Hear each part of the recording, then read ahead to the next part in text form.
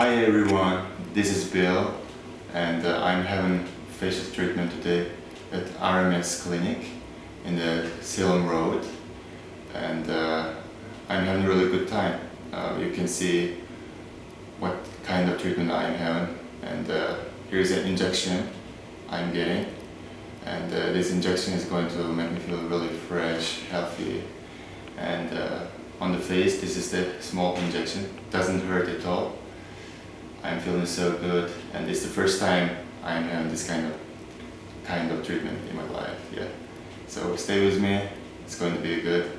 I'm going to upload all the videos soon.